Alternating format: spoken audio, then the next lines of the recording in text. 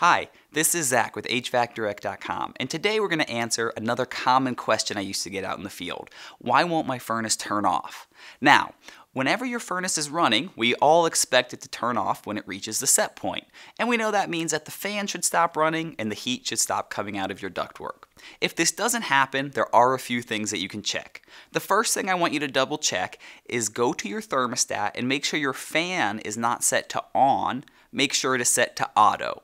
If the fan is set to on, the actual burners will turn off, but you will keep moving air throughout the house. Now that is not a bad thing, but sometimes people do get confused and they think the furnace is still running and heating when it's simply just the fan running and moving air throughout the house. Now, I actually do recommend leaving your fan in the on position as it'll help circulate air in your house, it'll even out the temperatures in your house, and it can help keep you more comfortable.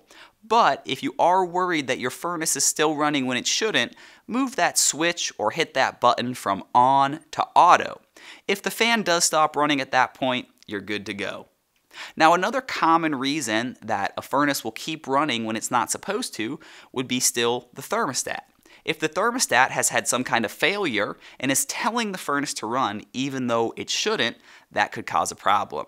A very easy way to figure out if that is the issue is to pull the face of the thermostat off the sub base. If you pull the face off and the furnace does stop operating, then you know it was the thermostat that was telling it to run. Of course, remember, you have to check two things before you do this. One, the room temperature and the set point. If the room temperature and the set point are the same, your furnace should not be running. If the room temperature is below the set point, then your furnace should be running. So if the room is 60 degrees and you have the furnace set at 70, it should be operating. But if they're equal, it should not. Now, when you pull that sub base off, you shouldn't have to worry about causing any issues or any shorts, but please be aware that it is uh, an electrical circuit that is live. It is 24 volts, so it should not hurt you, but please be careful. Now, if you've determined that it's not the thermostat and that the system is still operating longer than it should or not shutting off, another reason could be that your furnace is short cycling. This is one that people sometimes struggle to understand, but I'll explain.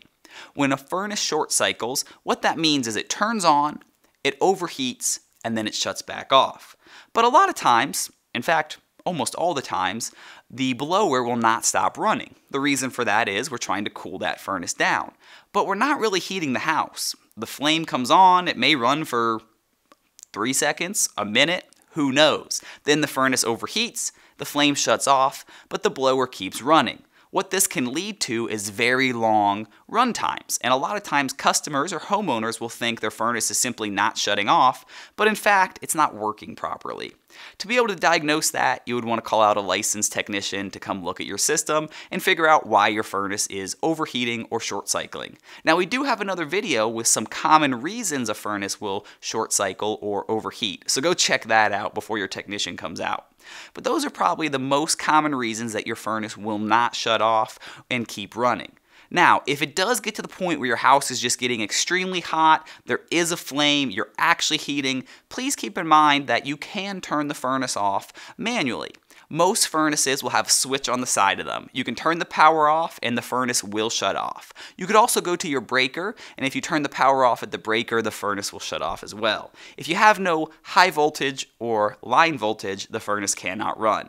So if you are getting to that point where it's 90, 95 degrees in your house and you simply just want to stop the heat, remember you can always turn the power off. Now at that point, the best thing to do would be to call your local heating and cooling contractor and they could come take a look at it and let you know what's going on. Of course, there can always be multiple reasons that furnaces aren't functioning properly, so if we miss something or you thought of another reason that's common or could cause this issue, let us know in the comments below. Please don't forget to subscribe, hit the notification button, and we hope to see you next time.